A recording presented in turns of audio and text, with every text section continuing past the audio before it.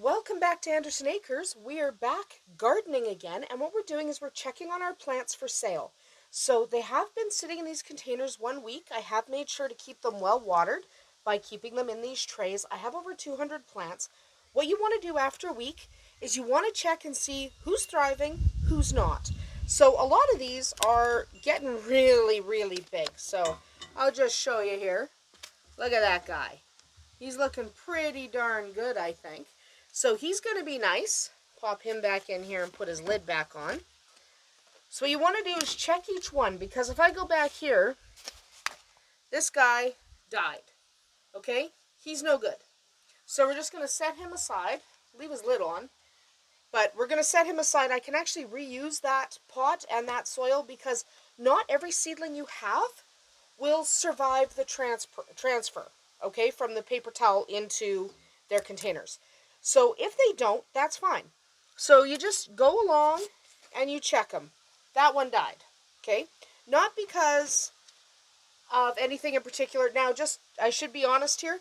What I did is I shuffled all my plants around and I put a bunch that I knew I had, had died in here so that I could show you the difference between plants that are doing really, really well, like this guy, and dead ones, like, I'll show you in a minute,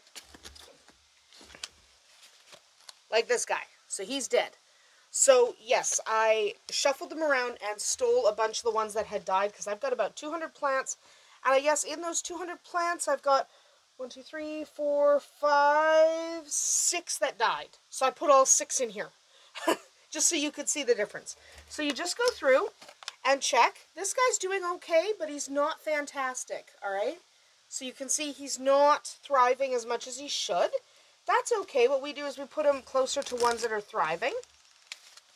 This one's okay. He's still alive. Good enough. So you're going to have some that are really nice and big, and that's excellent. Like this guy's doing pretty well. So you want to put them, because they'll be ready to go to their new homes. Yes, I talk about new homes for plants. But you'll be able to kind of gather them up and start to sell them when you've got more growth than this. So generally I have them in their pots for two weeks before I sell them.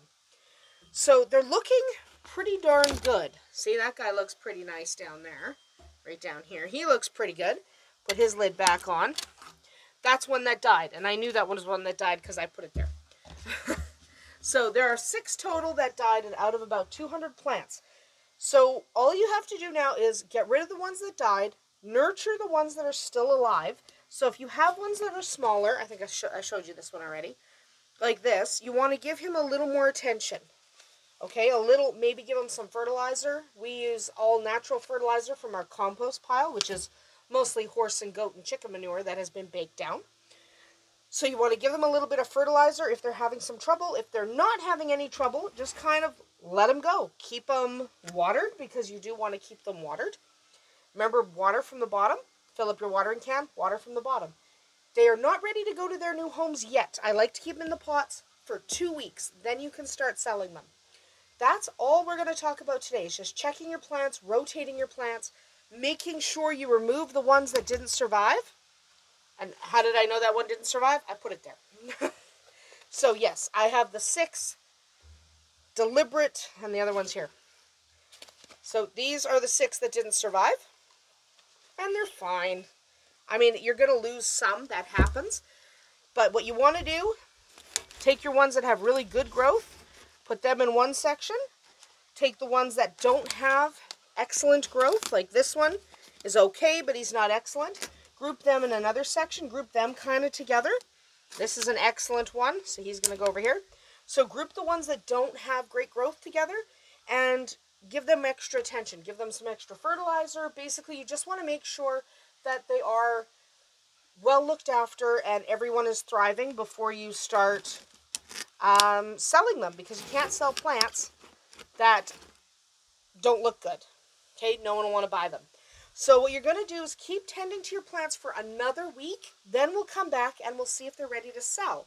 They probably will be, except for maybe a couple that are needing a little bit more tender loving care, like this one, and I just dropped him. Sorry, man. so I just dropped him. That was nice of me. So That's number six. Okay, so that is about it for us today because this is all you need to be doing now if you're wanting to prep your plants for sale. So just remember to keep your eye on them. Don't ignore them. You want to make sure you are watering from the bottom. Put them in a bright sunny area. So I like to push mine into the sun here, but I pull them back out of the sun for filming because in the sun is actually really kind of annoying to film. So put your plants in, in bright sunlight, keep their tops on. Make sure the tops are ventilated. I will put another link to um, these pot plant, these little pot, plant pots. Hey, I can't talk. These little uh, plant pots because they work really well. I really do recommend using them or something similar.